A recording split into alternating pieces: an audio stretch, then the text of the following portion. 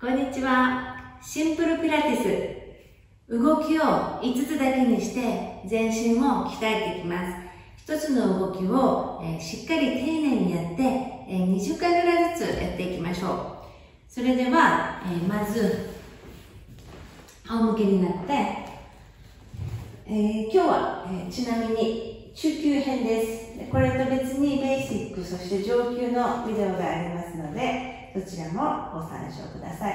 では、仰向けになって、腰が浮かないようにキュッとおへそを引っ込めて腰の後ろを床に持ってくるようにしてください。背中をぴったり広げて、えー、腕をちょうどハの字に広げて、顎も軽く引いておきます。ね、で、ここから両足、ちょうど膝の後ろ90度ぐらいですが、このまま90度に保ったまま、両足を下ろしていきます。ね、なんで足が床の方に降りていきます。はい、えっ、ー、と、こうなんですかね、これ。えー、クレーン車みたいな感じ？だけど、ここでおへそを相当引っ込めないと、腰が浮きますよね。ですので、床まで一番下げる必要はないんですが、自分の行けるところまで、床まで行ける人は、床をちょんと触って戻ってきましょう。吐いてお腹を引っ込めて両足を下げます。吐いて、下げて、吸ってあげる。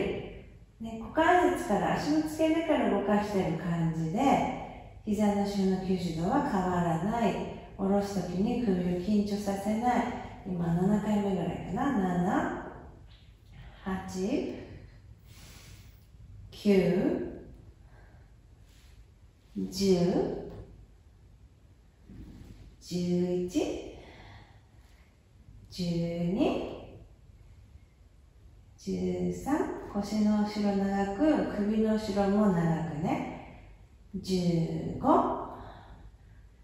16 17これ体幹の奥の奥のね腹筋の一番深層部のエクササイズですので腰を浮かしてしまったらあの全然効いてることにならないから腰が浮かないところまでしか足を下げない。20回やったかな。じゃ今度は腹筋全部を鍛えていく。のをやります。クリスクロスといって、今じゃ膝、両膝上がってますよね。じゃあ頭の後ろに手を置いて、で、まあ、こう頭で、えーと、手で頭を押さないようにしてこう上げていきます。なので頭は手の上で少し休みしつつ、手で少しをサポートしてあげますね。で腹筋をこうお腹をぐっとえぐるようにして胸と頭を上げてきます顎が胸につかないようにですか？ではここから、えー、じゃあ右に体を回転させて右に回転させた時に片方のこの今左の肩は上がってますでだけど左のお尻が上がらないようにしてくださいそして左の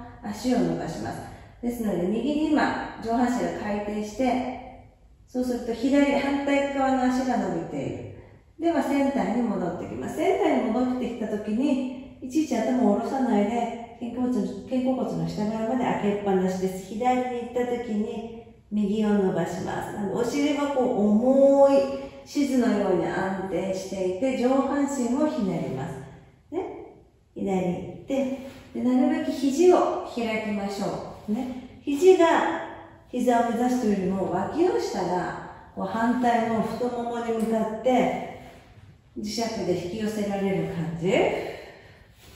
で、9、10、あと10回頑張って。1、2、3、4、きついですね、これね。5、しっかり効いてます。6、7、手で頭押さないで。8、9、10、ふー。たじゃあね膝の後ろももの後ろかなんか持ってじゃあちょっとこう少しコロンコロンってさしてお尻して上がっていきましょうかせーの。上がった OK 上がってきたらじゃあ今度はうつ伏せ背中をやっていきますよ。背中をやります。背中をつけて。腰の、えー、背中の背筋をやるときは腰の後ろと首の後ろを反りすぎないように注意しましょう。ね、この一番硬くなりがちな胸の後ろ側、背中の上の方をやりたいので、では、えーと、お尻を軽く上げます。で必ずあの上半身、胸とお尻を、えー、足を上げる前にお腹をキュッと引っ込みますよ。そしてこう頭と胸が上がるようにして、お尻もありますなので体がきれいにこうちょっとロッキングチェアのベースというか三日月の形になってる感じにしてくださいで腰に負担がかかる人は足と胸を少し下ろしますそれでも負担がかかる方はお腹の下に、えー、タオルかなんかを置いてあげましょう。では両手を上げて前に万歳万歳の時にできたら手がちょっと頭上の方を目指します。で肘曲げてこう引き寄せてきて負けて後ろに間を伸ばしましょう。肘曲げて手が前に来て前に万歳肘を引き寄せて手を後ろに。はい次3回目。3 4 5首つむねに長く6 7 8こうやって足を上げてることでこうお尻とか太もも足の裏側の筋肉まで全部使ってることになりますね10回1 2お腹を軽くおへそを軽く引っ込めようとしてると腰が守られるので、6、7、8、上を目指して伸ばして、9、10、はい。では上がってきたら、一回こうちょっとマウンテンの形になってください。手をついて、つま先をつけて、お尻を突き上げて、伸びますはいじゃあ3個目の動き。3個目の動きは、ね、ちょうど手が肩の真下に来て足が、えーと、向こうねまっすぐ。でここで注意したいのは腰を絶対反らないようにするのでキュッとこうお尻の穴しまい込むような感じにしておへそをぐっと上げます。で背中が丸くならないように頭も上げてください。OK なんで今こうまっすぐ弓矢のようになってます。この体勢を保つだけでいいです。肩が怒ってしまわないように首と肩の間のスペースを空けておいてあと10秒9 8 7 6 5 4 3 2 1で手がそのままでいてでちょっと肘を曲げてみましょう。これ腕立ての前傾ですよね。腕だけちょっと曲げて相変わらずお尻キュッと入れてる。OK きついですよね。ね。でこれ無理しないでこれがきつい人は今の体勢でね。頭からキュッとお尻を入れてお腹もキュッと引き上げる体勢にして膝をついて構いませんからまずは膝をついてからあのやって今の膝も伸ばすバージョンでついていただいても構いません。では次ね。サイドサイドやっていきましょう。サイドプランクには肘をついてですね、じゃあ皆さん鏡合わせになるようにみんな右側をやるね。で、足、膝と膝をこうやって今日は合わせて、ね、で、ちょうど肩が肘の上に来るようにしてください。これが前すぎたり後ろすぎたりすると、ね、柱がまっすぐじゃなくなっちゃうからどっかに負担がかかっちゃうでしょなので、こうまっすぐですね。で、こう、体のぐわっと下のサイドの力をぐっと使って体を引き上げます。肘が、膝が前すぎるとダメなので、膝はこの体のラインに置いておきましょう。では、いいですか上がりますよ。お尻、キュッとやって、おな内ももキュッとやって、お尻を上げてください。